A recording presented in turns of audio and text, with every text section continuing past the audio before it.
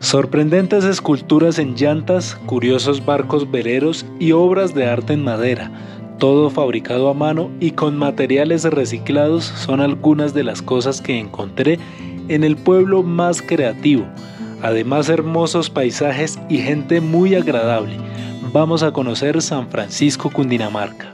Muy buenas para todos queridos seguidores. Hoy me encuentro en el municipio de San Francisco, Cundinamarca.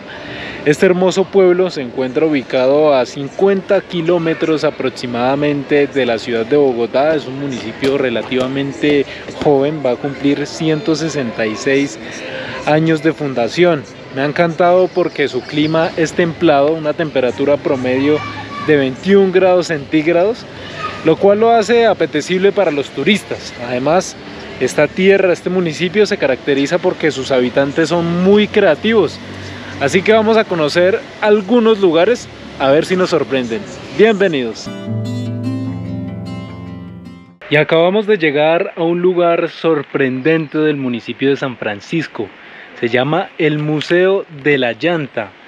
Llegamos a este sitio donde el artista elabora esculturas solamente con llantas recicladas. De verdad que es una maravilla, es increíble lo que hacen. Así que vamos a empezar a recorrer todas estas maravillosas obras de arte. Nos sentamos a charlar con don Edison Camacho para que nos contara cómo realiza este admirable trabajo. Empezó por, por una hija que estudiaba en el colegio y le hicieron un trabajo, le dejaron un trabajo de, de fin de año. Ella eh, expuso qué hacer con el reciclaje y ahí empezó todo. Me sugirió que yo trabajara con la llanta porque yo trabajaba más que todo era con los hierros con la chatarra y con toda esa parte, con las piedras y eso. Entonces yo nunca había trabajado con la llanta y empezamos a reciclar las llantas, a ver qué, qué se podría hacer. Empezamos con unas poquitas llantas a cortarlas y a, manejarlas. Y pues empecé a hacer una figura y me di cuenta de que sí se podía, que no era tan difícil, que era como cuestión de, de interés y, y de ponerle empeño a ver qué iba a hacer uno, tratar de buscar la parte de la figura lo más lo más parecido posible y empezamos a trabajar sobre la llanta y resultó eso. Ya cuando tuvimos ya muchas, muchas, eh, entonces prácticamente se terminó formando un museo sin querer, queriendo. Don Edison nos cuenta que no es tan difícil, ¿cómo es el proceso para terminar con las figuras tan bonitas? Pues yo no sé, la vuelta para, para mí fue como como lo que se me iba apareciendo en el camino, irlo transformando en arte. No importaba si no fuera tampoco la llanta, fuera el hierro, fuera la piedra, fuera la madera, fuera lo que fuera. No importa el material, no hay material malo, sino mal utilizado. La gente creería que, que hay cosas que ya están desechadas, pero no, todo sirve en este planeta. Quiere decir que no solo con la llanta se pueden hacer bonitas esculturas, sino también con otras cosas que se puedan reciclar. Con lo que sea, prácticamente. ¿Qué se necesita para hacer ganas, escultura? Ganas. Sí, no, no hay que tener un talento muy especial para llegar a hacer eso. Todos somos iguales, ¿verdad? No hace falta tener más que otro para hacer algo. Simplemente tener es ganas. El que tenga ganas, lo logra. No es, es verdad. Este espacio me parece muy bonito. Viendo la casa es como vivir en un parque temático. ¿Cómo es esta casa, Don Edison? Eh, esta casa incluso eh, cuando estaba haciendo la de mis hermanos, porque para poder construir lo mío tenía que primero trabajarle a mis hermanos para tener plata, que eran los que habían salido más que yo. Entonces, en el tiempo que empezamos todos, entonces ellos me pagaban y con esa plata empecé a hacer esta. Esta prácticamente la hice de noche, mientras que en el día le hacía las de ellos, porque yo también tengo familia y necesitaba dónde meterlos y, y dónde estar todos viviendo acá.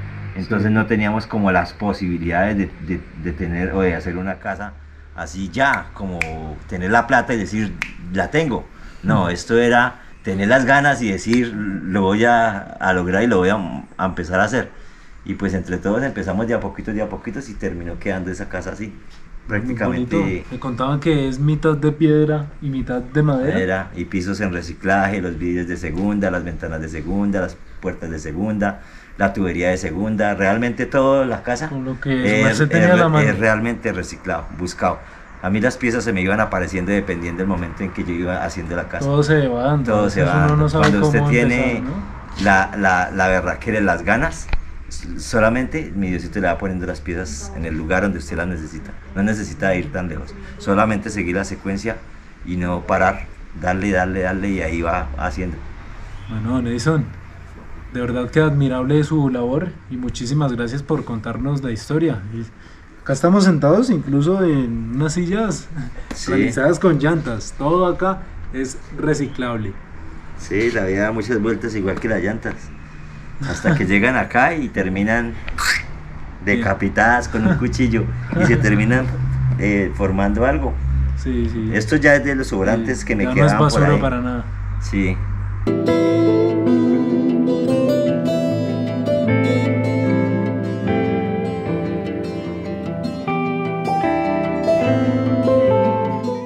De verdad que es admirable el trabajo de Don Edison.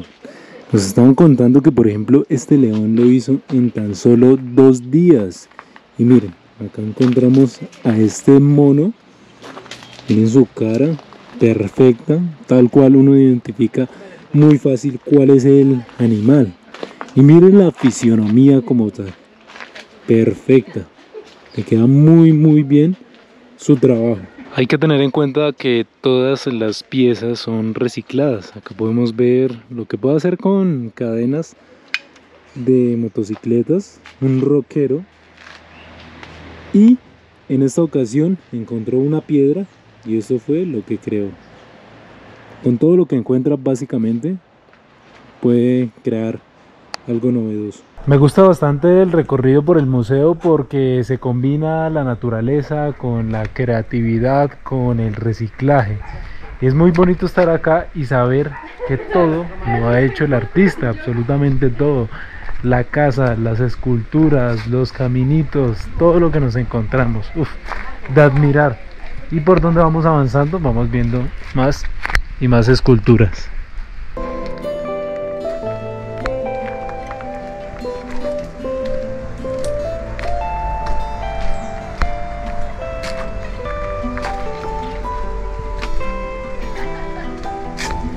Ejemplo, miren este dinosaurio. Y es que son esculturas bastante altas. Y es la perfección, porque miren acá por ejemplo los músculos, las piernas, todas las proporciones son exactas. Acá está ranita, la verdad es que hay muchas, hay muchos animales acá.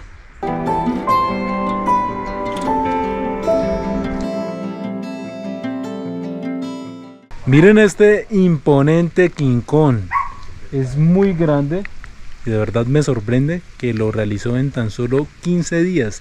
Tiene entre 150 a 200 llantas. Pesa 2 toneladas y media. Wow. Esto de verdad es sorprendente. Estoy con Mariana, la hija del artista. Mariana, ¿tú qué sientes? ¿Qué opinas de todo este trabajo admirable que hace tu padre? No, pues me siento muy orgullosa porque pues es un gran artista y un gran ejemplo para la humanidad en la manera ecológica. Mariana, yo sé que las personas que están viendo este video están súper antojadas y quieren saber cómo pueden visitar este museo. ¿Qué pueden hacer ellos? Bueno, pues en las redes sociales aparecemos como Museo de la Llanta. Es muy importante reservar para poder tener una buena atención. Y pues es solamente una hora de Bogotá y los esperamos con los brazos abiertos. Gracias. Un plan diferente y súper recomendado. Realmente yo quedé asombrado de ver estas esculturas, este gran trabajo y más que todo observar cómo se puede reciclar y cómo podemos utilizar lo que muchas veces pensamos que es basura para hacer verdaderas obras de arte. Y es que en este municipio por donde vamos caminando vamos encontrando obras de arte.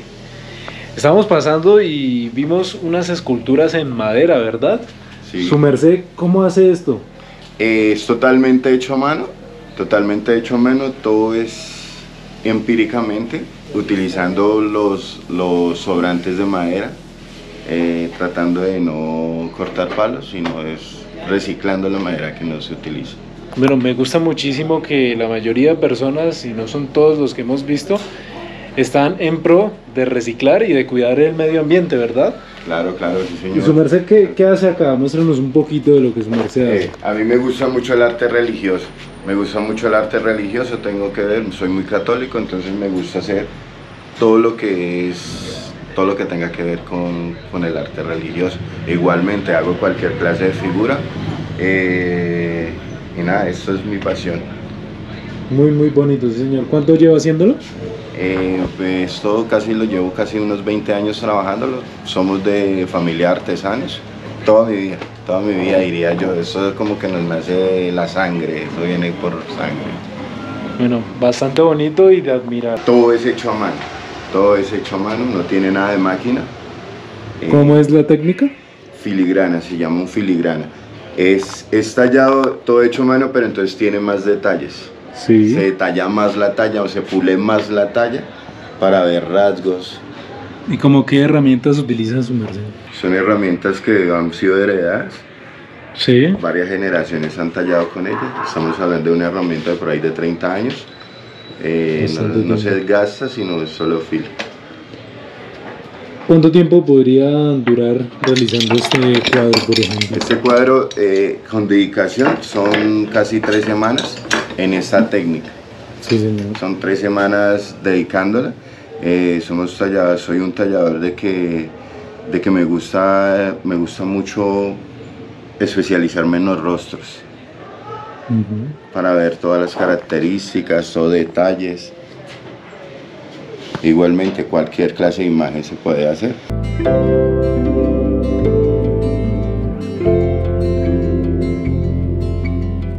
Miren esta casa, amigos. Si la vemos por fuera, se ve una casa común y corriente. Pero miren lo que nos encontramos adentro. Llegamos a la casa Museo de Barcos de Don Joaquín, donde podemos encontrar varios barcos fabricados a mano. Yo veía una película que tuviera barcos y la veía hasta tres veces, cuatro veces y lo hacía. Es decir, que Don Joaquín es apasionado de los barcos. Sí, sí. ¿Por qué le gustan tanto los No barcos? sé. ¿Qué, qué tienen A los lo barcos? mejor fui pirata. en su otra vida. ¿Qué podemos encontrar en esta casa museo? ¿Qué tipo de barcos? Todos son veleros, Barcos veleros. sí, de vela, Sí, señor. sí. O sea que cada uno... Pero cada uno tiene su historia. Su porque historia. Yo los he bajado por internet y los paso a papel y voy copiando lo mejor que se pueda.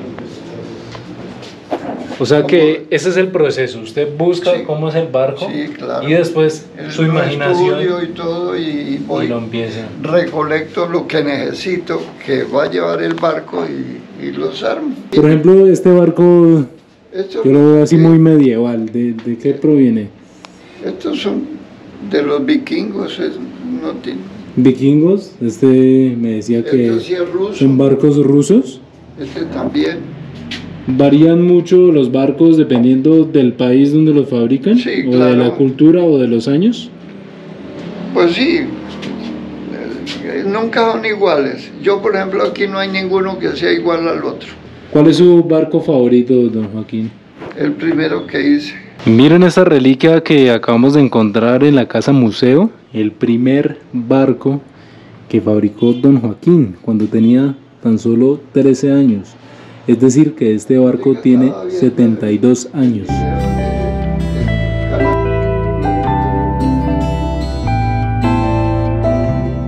Yo porque veo tantas banderas de los países. Hace como más de 40 años hice las banderas de todo el mundo, en De tela. todo. Acá están todas las banderas. Sí, aquí están 200 banderas. Y ahora, como se envejecieron tanto, se, se- ya la tela. Entonces, hace como dos meses hizo esta. Es en tela también, pero ya procesada con una pintura más resistente. No, Joaquín, muchísimas gracias. Sorprendidos y maravillados con las esculturas, decidimos visitar un poco del campo de San Francisco. Don Nelson nos abrió las puertas de su finca para conocer todo el proceso de producción del café, un proyecto que se está convirtiendo en un destino turístico. En este recorrido estamos conectando con la naturaleza, es una finca muy bonita, Me llama la atención esta parte donde podemos observar gran cantidad de agua, Nelson. ¿Tiene suficiente agua en la finca? Sí, precisamente esta es una, una época de sequía y contamos con la, la posibilidad de tener una, un buen caudal de agua para todos los procesos agrícolas. Y lo más importante, que la ayudamos a generar eh, fertilizantes para nuestras plantas. Esta es una planta que se llama azola. La azola produce nitrógeno eh, a través de la misma planta se pueden alimentar animales, se puede eh, compostar y hacer un fertilizante muy, muy bueno. Bastante curioso, don Nelson, o sea que esto que parece aparentemente agua sucia es alimento para los animales también. Exactamente.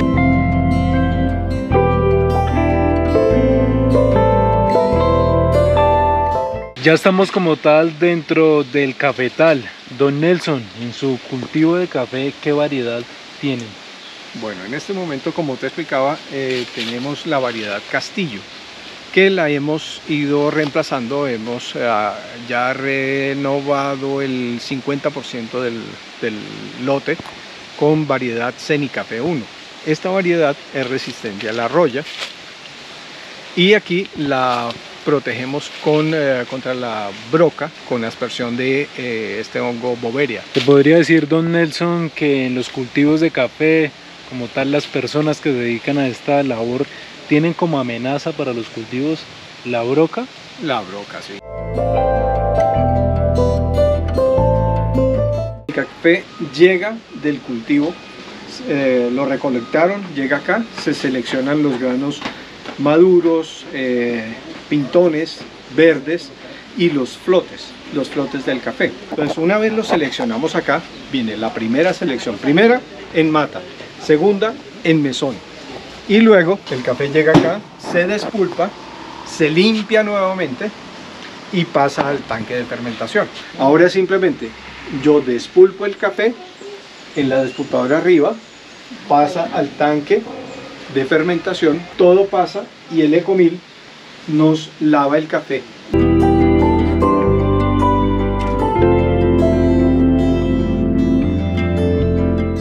En este lugar donde acabamos de entrar, don Nelson, ¿cómo se llama? Eh, bueno, este es un secadero de café con paseras. Aquí a rayo del sol eh, bajo, bajo esta nave se seca el café hasta alcanzar el 12%, entre el 10 y el 12% de humedad que requiere la federación para comercializar el café. Luego que ya está seco el café, lo pasamos a la trilladora, lo trillamos, le quitamos la cáscara, le quitamos el pergamino y lo monitoreamos o lo seleccionamos según la malla, el tamaño del grano. Sí. Entonces, luego de, de, que tenemos definido el tamaño del grano y la calidad misma del, del, grano, del café, lo pasamos a la tostadora. Y los que pueden venir acá y quieren venir acá, pues aquí los atendemos para que se tomen un café con todas estas características. Pregunta, don Nelson, pregunta importante que las personas que están viendo el video seguramente quieren saber. Si ellos quieren hacer ese recorrido que usted nos está mostrando hoy, ¿qué deben hacer? Ah, no, simplemente nos siguen, en, estamos en Instagram como bagarelo.café y ahí eh, están los teléfonos de contacto, toda la información para que vengan y disfruten de una tarde o de una mañana bien interesante aquí conociendo de la plantación y todos los procesos hasta tomarse un café preparado aquí con nosotros. Y acabamos de llegar al santuario de la Virgen Milagrosa, un lugar representativo del municipio de San Francisco. Es un lindo mirador desde donde podemos apreciar como tal el casco urbano del pueblo, podemos apreciar las montañas, la naturaleza y este es el sendero por donde pueden acceder las personas. Es un lugar muy visitado tanto por turistas y habitantes de San Francisco. Vienen acá en las mañanas, hacen ejercicio, practican senderismo, vienen hasta acá, disfrutan de esto tan bonito que ofrece este lindo pueblo de Cundinamarca. Es una réplica, como dato curioso, de una capilla de Francia. La original se encuentra en Francia. Me llama la atención por su arquitectura. Realmente muy bonito. Se respira aire puro y miren. Para las personas que les gusta caminar pueden llegar por acá y si no, también hay carretera. Y desde esta agradable y tranquila vista me despido de este bello municipio. San Francisco Cundinamarca abre sus puertas a los visitantes. Es muy cerca de la ciudad de Bogotá. Puedes salir por la calle 80 por la vía La Vega. El recorrido dura una hora desde este punto. Cuéntame en los comentarios qué tal te parecieron estas obras de arte. Nos vemos en mi próxima aventura y no olvides suscribirte.